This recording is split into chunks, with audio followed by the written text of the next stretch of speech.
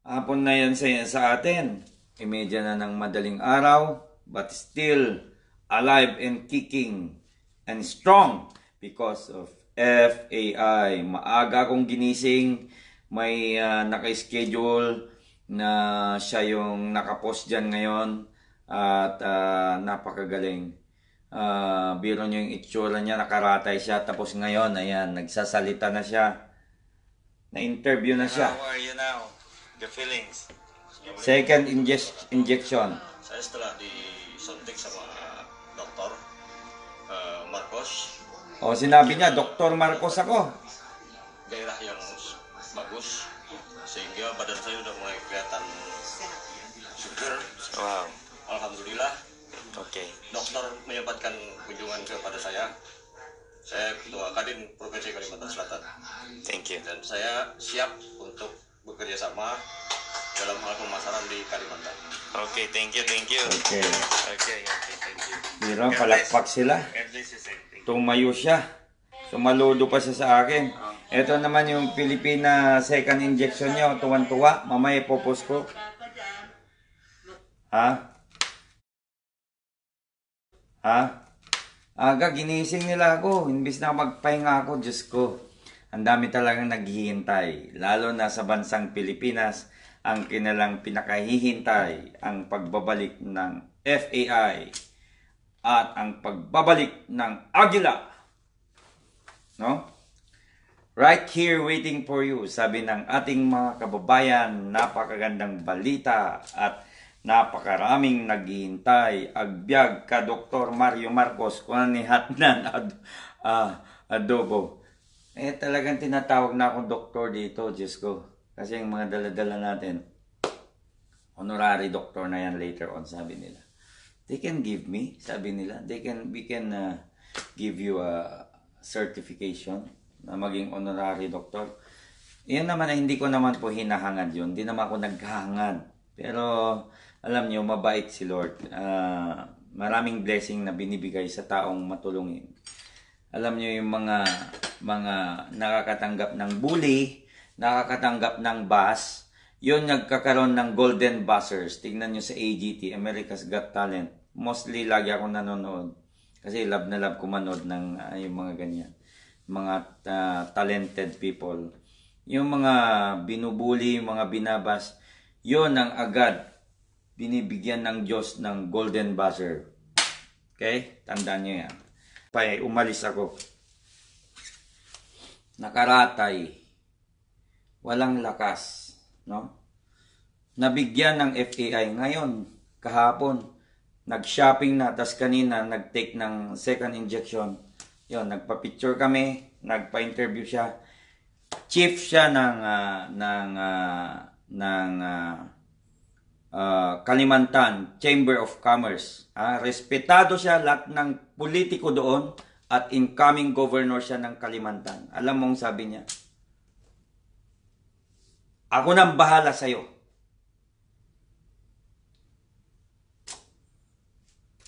Ang Panginoon gumagawa mismo ng paraan. O ngayon, tumawag ang, ah, ang doctors doon sa pinuntan namin. Ang mga patient daw ng COVID doon na tinurukan, okay na. Ready for discharge na. Ready for discharge na. Gagawa na sila ng report and those reports are additional supporting documents sa lahat ng ginagawa namin dito. Yon, di ba? Agbyag ti Ilocano, data ti Ilocano, ti pagsyatan ti Ilocano, natulad. Alam mo, sabi nila nun, believe ako sa tapang mo. Even though you are not a doctor, pero more than ka pa sa ibang doctors. Because why? Talagang yung dedikasyon mo nandiyan yan. Hindi ka wala kang uh, pahele-hele. Kung sinabi namin sama ka, sama ka, gawin mo to, gawin mo to. So, wala eh. Kailangan natin ah, patunayan. Patunayan natin ang ah, gawang Pinoy ay talagang totoo at walang kalukuhan, walang hidden agenda, walang ah, wala silang makitang pagdududa, wala silang makitang in- tinatago natin na may ah, mali dyan o kung ano yan. So, doon sila naging kampante sa atin. Pero mo, very, very I, I, ironic ta, sabi nila doon eh. Yung isang head ng doktor, right there and then magpa-inject at mga doctors. Hindi po ordinaryo yon Ha? Ay yung isang uh, nabasa ko dyan, ulitin ko ulit. Kailangan din gisingin natin, kailangan din kantihin natin yung mga kumakanti sa atin. Ito hindi naman pwedeng uh, gaganon-ganonin lang tayo. Yung uh, utak uh, talangka dyan, magsugpo na lang kayo. Sugpuin ang virus. Sugpuin ninyo ang sarili nyong virus. Yun yun. Kasi sasabihin nyo, ha ha ha ha, ang daming naloko ni Mario Marcos. Okay, nabasa ko yun eh sa comment ng isang isang utak tala, talangka diyan, magsugpo ka na, sugpuin mo sarili mong uh, virus, okay? Pinagluloko ko daw yung mga tao. So, sa isip mo lang yon. Hindi naman bobo ang mga doctors dito. At mga mayor dito, hindi naman mga bobo. Ano? So, ikaw lang yung lumalabas dyan na bobo kasi hindi ka nagbabasa at hindi mo alam yung mga sinasabi. Kaya, God bless you more. Sana maging sugpo ko na lang para sugpuin mo yung virus sa sarili mong utak. Okay? So, yun ang mensahe ko sa mga utak na lang ka. Maging sugpo na lang kayo. Sugpuin ang sarili nyong virus. Okay? Uh, uh, ibalita natin ang magandang pangyayari doon. Okay? Ito yung mga video nila.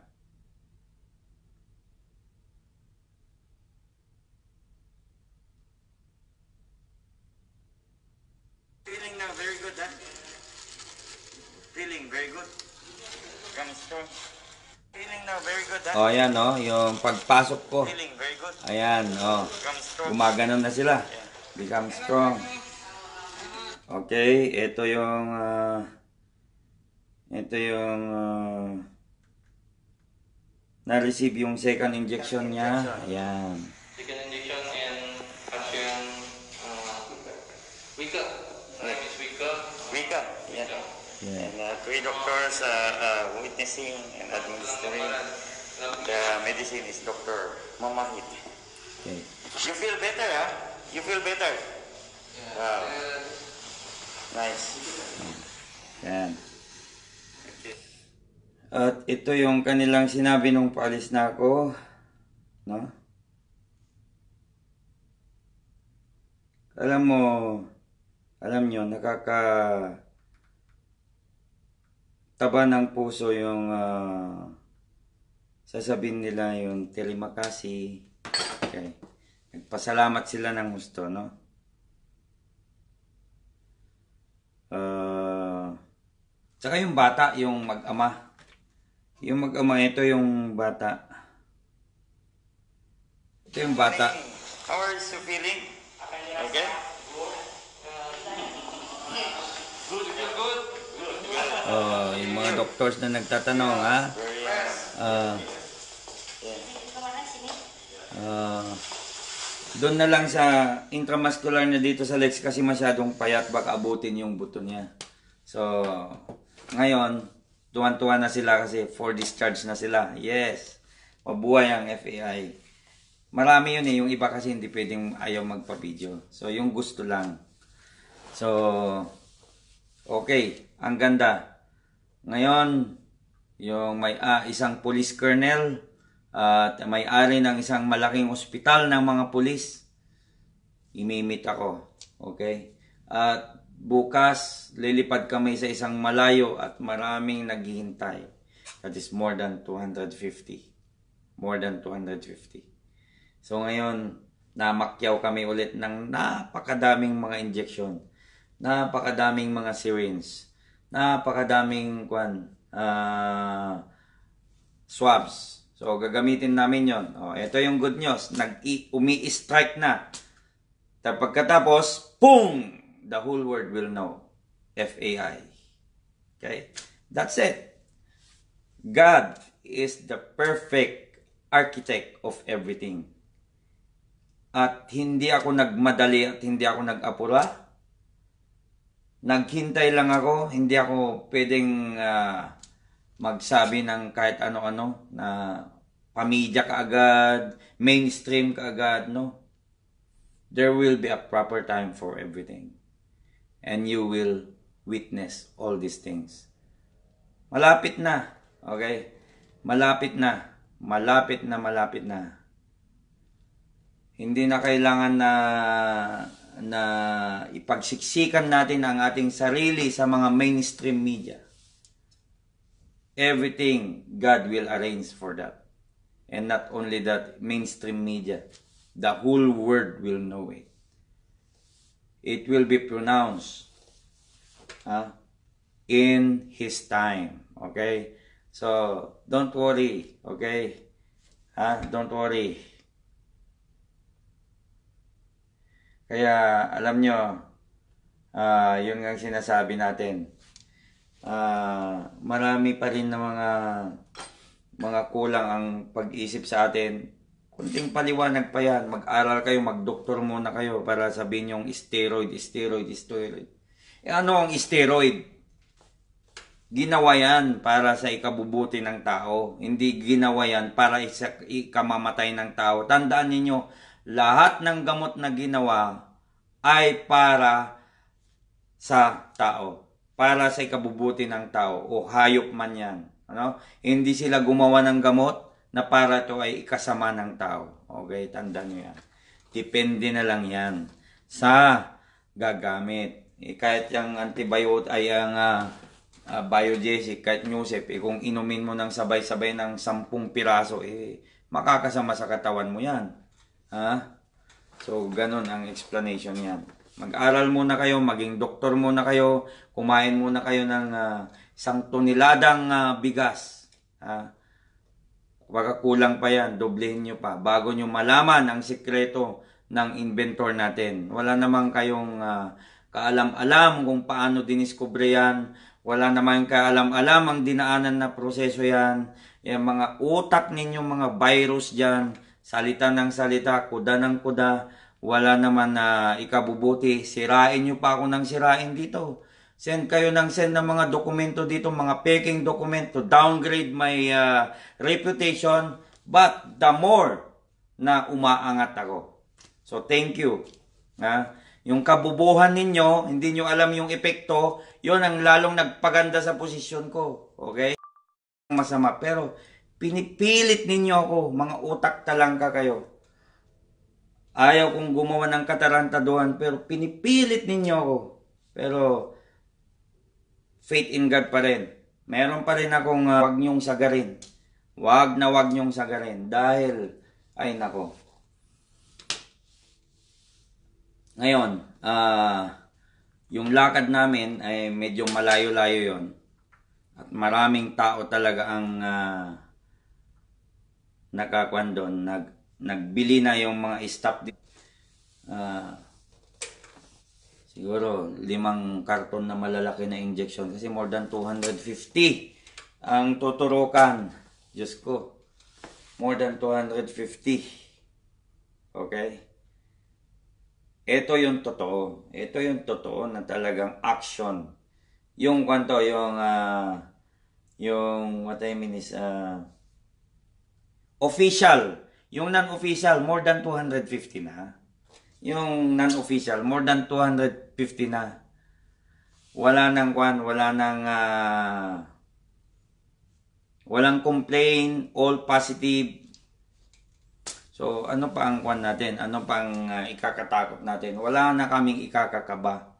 Because uh, tested na sa mga tao, tested sa mga doctors. Doctors mismo, maraming doctors ang nagturok. Thank you Lord. Thank you mga super doctors natin. At tawag na rin sa akin dito, Dr. Marcos. Okay?